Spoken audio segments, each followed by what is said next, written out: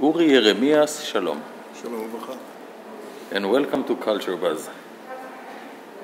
I'm honored to be with you. Uri, the honor is all ours, Yeah. and we are here uh, to congratulate you uh, as you just opened your new hotel in Akko, Acre, called the Efendi. The so, Efendi Hotel, yeah. congratulations, Mazal Tov. Thank you very much. We need we need luck. We need more hotels, and we need good hotels, and we need special boutique hotels. Yeah. Uri, you are, how shall we describe it? Some kind of an Israeli icon, icon, an institute, one may say, thanks to your famous restaurant in Acre, Uri Buri. Yes. Will you be kind enough to share with us how did it all start? Uh, how many hours you have? it is not. Uh, it's not in three words that you can understand. Uh, explain how it started. It is quite a story, but uh, generally I was working in different works. The last one was uh, uh, working as a private contractor for the United Nations forces in the Middle East. Uh, in procurement, working for technical and uh, other things. uh, Which explains the good English. Okay, you said it.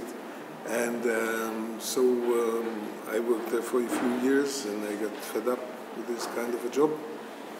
I was looking for something uh, that will make a change in my life. As a hobby diver, uh, fishing and so on.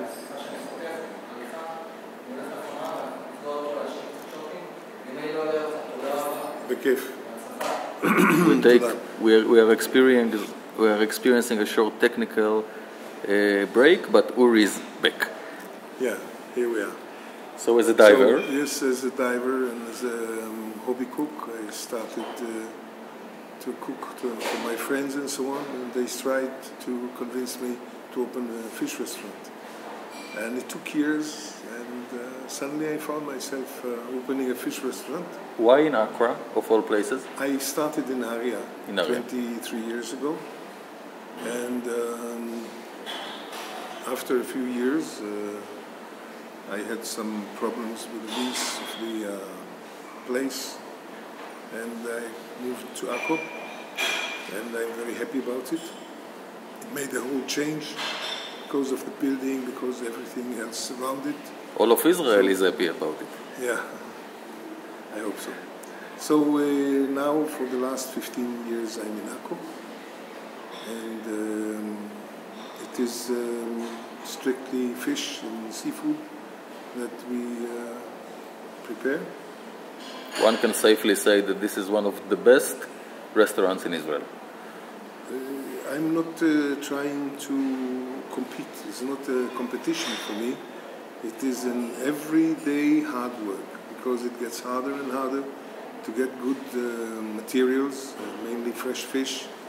And uh, today, in, uh, when we have uh, storms or a few following days and so on, um, we are um, getting things flown in from uh, Ra- Rungis in Paris, France, Ah, near uh, Orly, Okay. because uh, not we enough. have, we not have to enough. supply. Okay, not enough supply. Yes, there is a shortage in uh, supply, and uh, a few days in uh, rough sea, uh, we can get here only uh, fresh uh, water fish, and um, some of our customers are keen on uh, fresh sea uh, fish.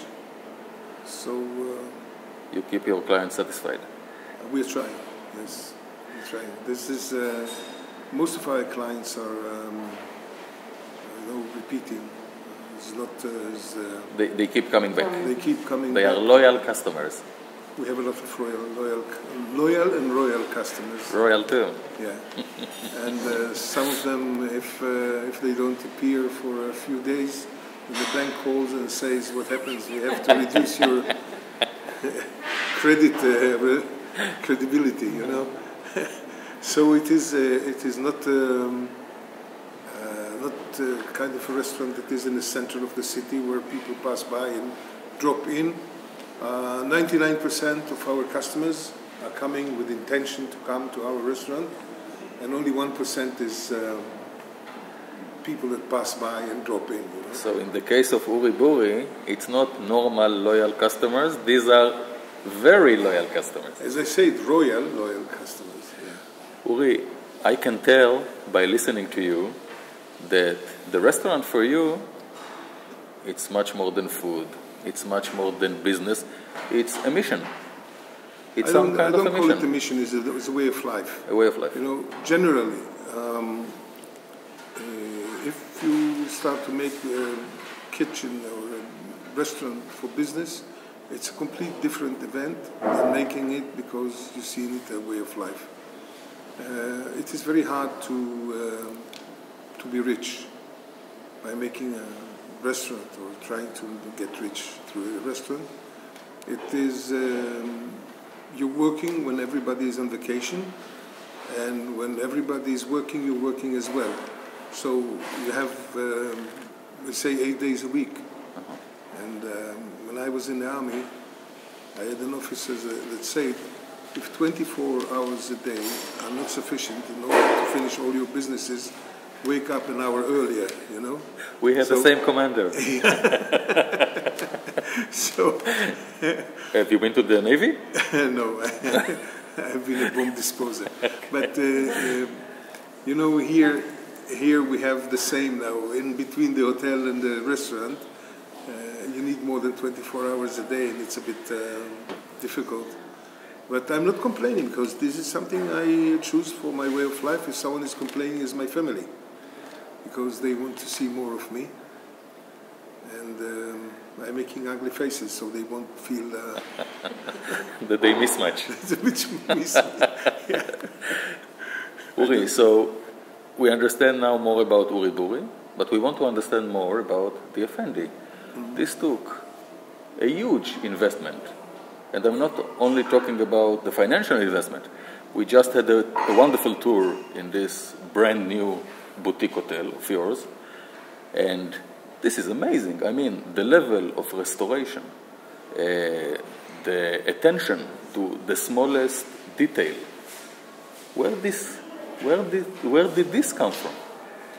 Uh, first of all, this is another kind of uh, thing you start uh, not with uh, calculations of return of investment or alternative for the money or XLs or um, working with sharp pencils and, uh, and um, coordinations and so on.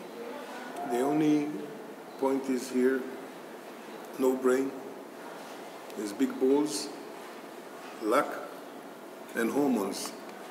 You know? It's the words of your commander again.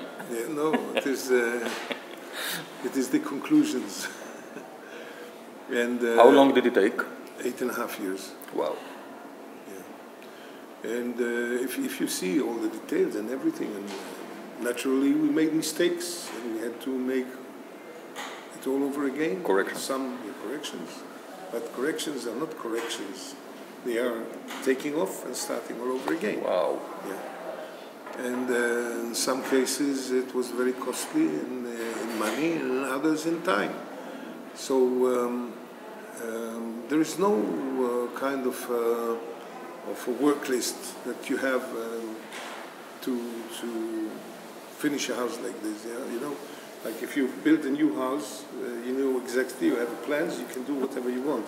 Here, every piece of uh, of plaster you take off and, and you find something wrong or a, surprise behind it, kind of an opening you didn't know that exists, another cellar that uh, was not on the maps, and uh, all kinds of things like this. And you have to decide what you're doing about it. And this is again to get all kinds of renewal of licenses by changing the uh, plans of the hotel. Uh, this is uh, a very long procedure. Even from the bureaucratic point of view, it's unbelievable. Yeah. Lo- lots of efforts and uh, lots of investment. Yes, it's all together. And w- there is a very special feeling in this uh, s- building, in this structure, that you are really connecting with Acre history. You just showed us the stones outside. This is almost unbelievable. How long back we go? This is, this is actually a house that is representing all the glorious times of Akko. And this is the reason why we had to conservate it to such high level. Because actually, there is nothing like this anywhere in Israel. I don't know if many in the world. Because we have here a house that is built layer upon layer. It is built like uh, the first layer is from Byzantic time, which is like 1,500 years old Wow. On top of it, but, not theoretically, on top of it. You know, you see stones from the uh, cru- uh, Crusaders' time. We have the wine cellar, it's all built in Crusader time. And on the top of the Crusaders... But the, but the wine is not that old. uh, not the wine, but the smell. and they, on top of it, you have the uh, early Ottoman stones, which are like 500 years old. So it is really built uh, like this. And in each time, in each of these glorious times, it was a very rich people's house or a palace, as we call it. Um, I didn't want to call it a palace, although the Effendi's Palace was much nicer name. But today, every gambling house and uh, other houses are called palace. So it, it was not adding, it would add anything. It is just everybody who comes in has a immediate feeling that he goes into something that is completely different. You know, it's, it's unusual. Not, mainly not, not to mention the view, the beautiful view from the view, above. the air, the light, everything is the breeze from the sea. Yeah, everything. Amazing. It's Why the name? You picked the name, the Efendi? No, it was actually an effendi is a gentleman, is a, is a like a lord, A distinguished person. a distinguished person. And this house belonged to an effendi at his last part, you know. Um, and um, when I had to choose the name of the house, is first of all to honor the effendis, you know, uh, former gentlemen and um, the connection to the um, Turkish mandate, the Turkish uh, was the uh, Turkish regime in the Ottoman time, and um, it was it is a part of this culture, this house and its upper part, you know. So uh, I didn't want to disconnect it from anything. This belongs to Akko, this belongs to the period, and uh, it was in Effendi's house, so it's now in the Efendi Hotel. It, it felt right. The, the name felt right. Yeah, I, I could have called it a thousand names, but uh, but uh, nothing would have um, had a meaning like like this to connect the house to the name. Uri, what can we wish you for the future? Uh, a lot of um, satisfied guests that we'll see here, and uh, we wish to uh, bring Akko a bit of its glories in the past, to return the glory to Akko, because it is an amazing city. It is. It is one of the oldest cities of the world, and the most beautiful and the most unbelievable history it has. There is hardly any conqueror that has was born in the last uh, thousands of years that didn't visit Akko. You know, Including Napoleon. About Na- Napoleon and Caesar, Julius Caesar, and uh, Alexander Macedon, and uh, name it. Everybody was here. You know. We prefer Uri. Alexander the Yeah. Great. We okay. prefer Uri. Okay, but I'm I'm uh, I'm not a ruler. I'm not a conqueror. I'm not anything. I'm just a human being in a in a row of uh, In a chain. others in a chain, and uh, I believe that um, Akko is in my heart, and I believe that um, it has absolutely um, not reached the, the percent of its glo- uh, glory was not represented in uh, all over the world. You know, it is it was a capital of the Crusaders for a period of 104 years, and uh, until uh, 1291, when the place was uh, conquered by the Mamluks uh, and the Crusaders uh, left to Rhodes. And built the city of Rhodes actually on the same uh, concept as Akko was built before. And uh, by the way, while we were digging the uh, cellar here, uh, we found um, a remain of the fire, a piece of half burnt wood. There was a remain of the big fire that was here 1291 when the house was burned down by the Mamluks. Part of the war, the battle. It was not part of the battle. It was after the battle. They uh, they have in, in, in former um, times they have conquered before Akko from the Crusaders. They left the house standing, you know. And when the Crusaders came back, they lived in their houses again. And the Mamluks, when they came the second time, they wanted to Erase it. erase it to um, make the world forget the Crusaders' time. And um, actually, the cellar remained as was because the whole upper part collapsed into it and kept it as, as was, you know. Okay. And we came and cleaned it up. And we found um, like um, plates and glasses and uh, coins and a jar, a nice jar. From the 13th century. Yes, Wow.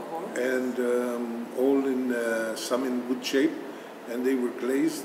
So these were Cyprus, Cyprus uh, clay that uh, is considered at the time like uh, Rosenthal, you know, today. So uh, this was very rich people's house. Amazing. At all times, actually, the, the, the way it was built, and actually the uh, Turkish hammam that we have here, that is 400 years old. Have you you've seen it? Yes. Uh, this Beautiful. Is, yeah, this is also representing a very rich people's house that had a private hammam with all the heating systems and everything in it, and we have conservated to make it a kind of a part of a spa where we have here. Uri, I want to thank you very much. We have learned uh, quite a lot about you during this uh, conversation. Uh, one of the most beautiful things we have learned is how connected you are to the history of this city. And it explains why you are doing so much for the present and for the future of Acre. I'm not doing for the future. The future, you can't do anything. It has passed, and I, but I think that uh, by um, acknowledging the people about the history of Akko and the power of a place and uh, so on, we can make a change that will influence and affect every citizen in the city by creating a, a high level of tourism and bring in people of values, you know, in order to uh, learn about the city, to enjoy the different things, and the mixture of the population Arabs, Jews, Druze, Christians, Baha'i, all of them living together in peace and, uh, you know, this is the um, future we want to see. So you are investing in the future. Hmm? You are investing in the future. In the future, in the future of the Israel. past. In the in the of past. Israel. Uri, thank you very much. All the best and good luck. Welcome.